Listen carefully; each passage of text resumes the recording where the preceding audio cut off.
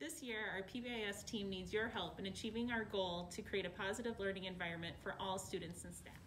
To achieve this goal, we will use positive reinforcement to encourage positive behavior. Through teaching and modeling academic and behavioral expectations during advisory time and throughout the school day.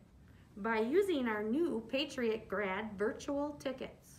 By tracking minor and major behaviors in order to find areas where we need and improvement. taking time to recognize staff achievement.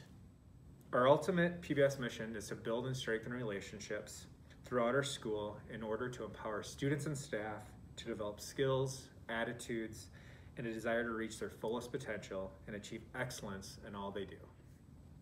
Thank you for making our school better each and every day.